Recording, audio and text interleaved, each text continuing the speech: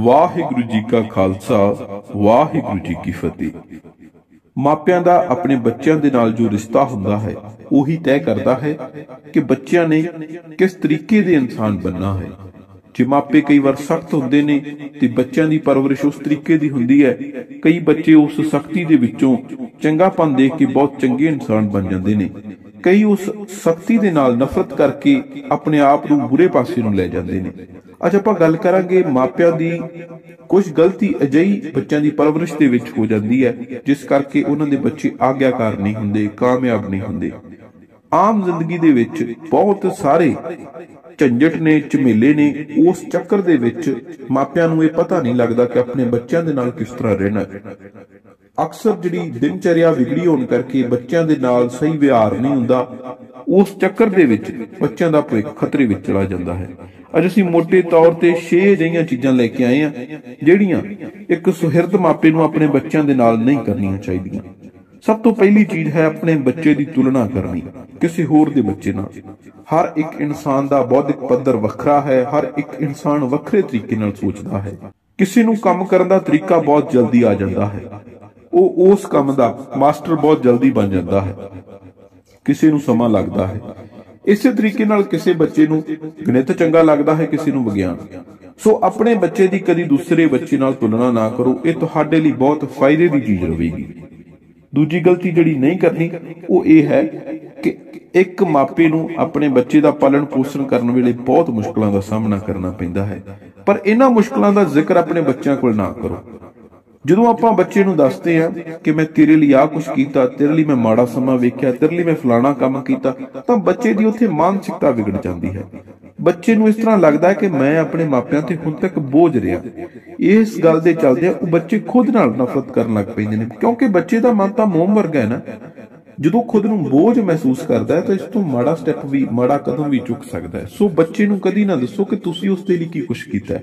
ਸਿਆਣੇ ਬੱਚੇ ਜਦੋਂ ਵੱਡੇ ਹੋ ਜਾਂਦੇ ਨੇ ਮੈਚੁਰ ਹੋ ਜਾਂਦੇ ਨੇ, ਉਹਨਾਂ ਨੂੰ ਖੁਦ ਬਾ ਖੁਦ ਕੱਲੀ ਕੱਲੀ ਚੀਜ਼ ਪਤਾ ਲੱਗਦੀ ਹੈ ਕਿ ਮੇਰੇ ਮਾਪੇ ਮੇਰੇ ਲਈ ਸਭ ਕੁਝ ਕਰਦੇ ਰਹੇ ਨੇ।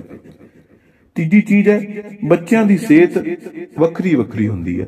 ਕੋਈ ਆਪਣੇ ਹਮ ਉਮਰ ਬੱਚਿਆਂ ਤੋਂ ਜ਼ਿਆਦਾ ਮੋਟਾ ਹੁੰਦਾ ਹੈ, ਕੋਈ ਹਮ ਉਮਰ ਬੱਚਿਆਂ ਤੋਂ ਪਤਲਾ ਹੁੰਦਾ ਹੈ। ਇਸੇ ਤਰੀਕੇ ਨਾਲ ਕੋਈ ਆਪਣੇ ਹਾਨਦਿਆਂ ਬੱਚਿਆਂ ਤੋਂ ਜ਼ਿਆਦਾ ਲੰਬਾ ਹੋ ਜਾਂਦਾ ਹੈ ਤੇ ਕਈਆਂ ਦਾ ਕੱਦ ਬਹੁਤ ਘੱਟ ਗਤੀ ਨਾਲ ਵੱਧਦਾ ਹੈ, ਕੱਦ ਵਿੱਚ ਸਮੱਧਰ ਰਹਿ ਜਾਂਦਾ ਹੈ।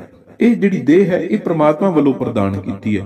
ਸੋ ਬੱਚੇ ਨੂੰ ਉਹਦੀ ਦੇਹ ਨਾਲ, ਉਹਦੇ ਸਰੀਰ ਨਾਲ ਮੁਤਲਕ ਕਦੀ ਵੀ ਮਾੜਾ ਨਾ ਬੋਲੋ। ਉਹਨੂੰ ਇਹ ਨਹੀਂ ਕਹਿਣਾ ਕਿ ਇਹ ਤੇਰੀ ਗਲਤੀ ਹੈ, ਕਿਉਂਕਿ ਇਹ ਪ੍ਰਮਾਤਮਾ ਦੇ ਹੱਥ ਹੈ। ਤੁਸੀਂ ਕੀ ਕਰ ਸਕਦੇ ਹੋ? ਜੇ ਤੁਹਾਨੂੰ ਲੱਗਦਾ ਕਿ ਸਿਹਤ ਉਹਦੀ ਕਮਜ਼ੋਰ ਹੈ ਉਸ ਨੂੰ ਦਵਾ ਦਵਾਰੂ ਦਵਾ ਸਕਦੇ ਹੋ। ਜੇ ਲੱਗਦਾ ਕਿ ਸਿਹਤ ਉਹਦੀ ਲੋੜ ਤੋਂ ਵੱਧ ਹੋ ਰਹੀ ਹੈ, ਤਾਂ ਵੀ ਦਵਾਈ ਦਵਾਇਆ ਜਾ ਸਕਦੀ ਹੈ, ਜਾਂ ਫਿਰ ਉਸ ਨੂੰ ਕਸਰਤ ਵਾਲੇ ਪਾਸੇ ਲਾਇਆ ਜਾ ਸਕਦਾ ਹੈ। ਸੋ ਬੱਚਿਆਂ ਦੀ ਸਿਹਤ ਦਾ ਨਾ ਮਜ਼ਾਕ ਉਡਾਉਣਾ, ਨਾ ਬੱਚੇ ਨੂੰ ਉਸ ਦਾ ਜ਼ਿੰਮੇਵਾਰ ਠਹਿਰਾਉਣਾ। ਅਗਲੀ ਗੱਲ, ਕਈ ਵਾਰੀ ਕੀ ਹੁੰਦਾ ਹੈ ਕਿ ਬੱਚਿਆਂ ਨੂੰ ਜਦੋਂ ਡਾਂਟਦੇ ਆ ਉਸ ਦਾ ਡਾਂਟਦਿਆਂ ਮਨੋਬਲ ਟੁੱਟ ਜਾਂਦਾ ਹੈ। ਸੋ ਬੱਚੇ ਨੂੰ ਡਾਂਟਣਾ ਬੜਾ ਜ਼ਰੂਰੀ ਹੈ, ਪਰ ਡਾਂਟਦਿਆਂ ਕਦੀ ਵੀ ਇਸ ਤਰ੍ਹਾਂ ਨਹੀਂ ਆਖਣਾ ਕਿ ਤੂੰ ਜ਼ੀਰੋ ਹੈ, ਤੂੰ ਕੁਝ ਨਹੀਂ ਕਰ ਸਕਦਾ, ਤੂੰ ਕਾਮਯਾਬ ਨਹੀਂ ਹੋ ਸਕਦਾ, ਤੂੰ ਫਾਲਤੂ ਹੈ। ਤੂੰ ਜ਼ਿੰਦਗੀ ਦੇ ਵਿੱਚ ਫਲਾਣਾ ਕੰਮ ਤੇ ਕਦੇ ਵੀ ਨਹੀਂ ਕਰ ਸਕਦਾ। ਇਹਨਾਂ ਗੱਲਾਂ ਦਾ ਖਾਸ ਪਰਹੇਜ਼ ਰੱਖਣਾ। ਬੱਚੇ ਦਾ ਮਨੋਬਲ ਇੱਕ ਵਾਰੀ ਟੁੱਟ ਗਿਆ, ਉਹ ਦੁਬਾਰਾ ਗੰਢਣਾ ਬਹੁਤ ਹੀ ਜ਼ਿਆਦਾ ਮੁਸ਼ਕਲ ਹੈ, ਬਹੁਤ ਹੀ ਔਖਾ ਹੈ। ਅਗਲੀ ਗੱਲ ਕਈ ਵਾਰੀ ਕੀ ਹੁੰਦਾ ਹੈ ਕਿ ਬੱਚੇ ਦੇ ਨਾਲ ਜਦੋਂ ਗੁੱਸੇ ਹੁੰਨੇ ਆ ਬੱਚਾ ਸਾਡੀ ਗੱਲ ਨਹੀਂ ਮੰਨ ਰਿਹਾ ਹੁੰਦਾ, ਕਿਉਂਕਿ ਬੱਚੇ ਤਕਰੀਬਨ ਜ਼ਿੱਦੀ ਹੁੰਦੇ ਨੇ। ਜਦੋਂ ਜਿੱਦ ਕਰਦੇ ਨੇ, ਉਦੋਂ ਬਹੁਤ ਕੁਝ ਗੁੱਸੇ ਦੇ ਵਿੱਚ ਮਾਪੇ ਬੋਲ ਦਿੰਦੇ ਨੇ, ਪਰ ਕਦੀ ਵੀ ਉਸ ਨੂੰ ਇਸ ਤਰ੍ਹਾਂ ਨਾ ਕਹੋ ਕਿ ਮੈਂ ਤੈਨੂੰ ਆਪਣੇ ਤੋਂ ਦੂਰ ਕਰ ਦੇਣਾ ਦੂਰ ਛੱਡ ਆਉਣਾ ਮੈਂ ਤੇਰੇ ਤੋਂ ਪੱਲਾ ਛਡਾ ਲੈਣਾ ਮੇਰਾ ਤੇਰੇ ਮੱਥੇ ਲੱਗਣ ਨੂੰ ਜੀ ਨਹੀਂ ਕਰਦਾ। ਬਹੁਤ ਸਾਰੀਆਂ ਯੂਨੀਵਰਸਿਟੀਆਂ ਦੀ ਰਿਸਰਚ ਇਸ ਤਰ੍ਹਾਂ ਕਹਿੰਦੀ ਹੈ ਕਿ ਤੁਸੀਂ ਚੰਗੇ ਸਮੇਂ ਦੇ ਵਿੱਚ ਜੋ ਕੁਝ ਬੋਲਦੇ ਹੋ ਉਹ ਬੱਚਾ ਚਿੱਤੇ ਰੱਖੇ ਨਾ ਰੱਖੇ। ਮਾੜੇ ਸਮੇਂ ਦੇ ਵਿੱਚ ਬੋਲੀ ਹਰ ਇੱਕ ਚੀਜ਼ ਬੱਚਾ ਚਿੱਤੇ ਰੱਖ ਸਕਦਾ ਹੈ। ਉਹ ਤੁਸੀਂ ਭਾਵੇਂ ਗੁੱਸੇ 'ਚ ਕਹਿ ਰਹੇ ਹੋ, ਪਰ ਬੱਚਾ ਮੰਨ ਸਕਦਾ ਹੈ ਕਿ ਤੁਸੀਂ ਸੱਚਮੁੱਚ ਉਸ ਨੂੰ ਕਦੇ ਦੂਰ ਕਰ ਦਿਓਗੇ ਜਾਂ ਦੂਰ ਕਰਨ ਬਾਰੇ ਸੋਚ ਰਹੇ ਹੋ। ਤੇ ਇਸ ਦੇ ਚੱਲਦਿਆਂ ਬੱਚੇ ਦੇ ਉੱਤੇ ਬਹੁਤ ਮਾੜਾ ਅਸਰ ਪੈਂਦਾ ਸੋ ਇਸ ਚੀਜ਼ ਦਾ ਖਾਸ ਧਿਆਨ ਰੱਖਣਾ ਹੈ। ਅਗਲੀ ਗੱਲ ਅਗਲੀ ਗੱਲ ਇਹ ਹੈ ਕਿ ਕਦੇ ਵੀ ਬੱਚੇ ਨਾਲ ਝੂਠੇ ਵਾਅਦੇ ਨਹੀਂ ਕਰਨੇ। ਕਈ ਵਾਰੀ ਕੀ ਹੁੰਦਾ ਹੈ ਕਿ ਬੱਚਾ ਆਪਣੀ ਗੱਲ ਨਹੀਂ ਮੰਨ ਰਿਹਾ ਹੁੰਦਾ ਉਸ ਨੂੰ ਗੱਲ ਮਨਾਉਣ ਦੇ ਲਈ ਆਪਾਂ ਇੱਕ ਅਗਲਾ ਵਾਅਦਾ ਕਰ ਦਿੰਦੇ ਆ ਝੂਠਾ ਵਾਅਦਾ ਹੁੰਦਾ ਹੈ।